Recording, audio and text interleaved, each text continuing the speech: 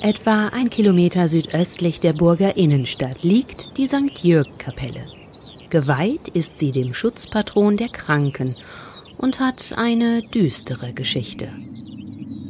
Im 13. Jahrhundert erbaut, wird sie 1439 zum ersten Mal offiziell erwähnt. Als Teil des Siechenhauses oder auch Leprosoriums. Das sind Häuser, in denen im Mittelalter vor allem Pestkranke gepflegt werden. Oft müssen auch schon Geheilte sich dort aufhalten und dürfen keine Kirche besuchen. Eine schwere Strafe zu der Zeit. Und so entstehen an vielen Orten gleich eigene Gotteshäuser für die sogenannten Aussätzigen. Nur zwölf Meter breit und sechs Meter lang wird die Kapelle auf einem Fundament aus Findlingen gebaut. Von außen sind sie noch gut zu sehen. Der kompakte Backsteinbau bekommt ein steiles Satteldach auf dem heute ein einfaches Holzkreuz angebracht ist. Durch schmale Spitzbogenfenster fällt das Licht ins Innere der Kapelle. Gleich neben der Eingangstür steht ein hölzerner Opferstock, der noch älter ist als die Kapelle selbst. Er stammt aus dem 11. Jahrhundert. Wie ein Häuschen mit Spitzdach sieht er aus, auf einem Sockel aus einem einzigen dicken Holzstamm gefertigt. Einige hundert Jahre stand dieser Opferstock am Strand von Puttgarden vor der Peter- und Paulkapelle. Die Pilger brachten dort ihre Opfer, wenn sie heil über den Fehmarnbelt gekommen waren. Aber die Puttgardener Kapelle wird bei einer Schlacht zwischen den Dänen und den Schweden zerstört.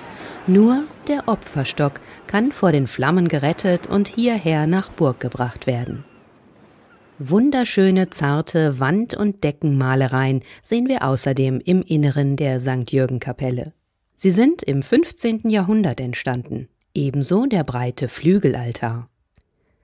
St. Jürgen ist die niederdeutsche Abwandlung der Legende des heiligen Georg. Als römischer Ritter setzte er sich der Überlieferung nach für die Schwachen und Kranken ein. Er tötete den feuerspeienden Drachen, das Symbol für Tod und Teufel.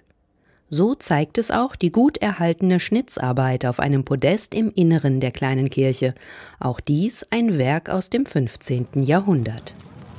Auf einem Platz vor der Kapelle werden im 17. Jahrhundert, nach der Überzeugung der Menschen damals, Hexen verbrannt. Später, unter dänischer Herrschaft, wird St. Jürgen auch als Waffenlager und als Pferdestall genutzt.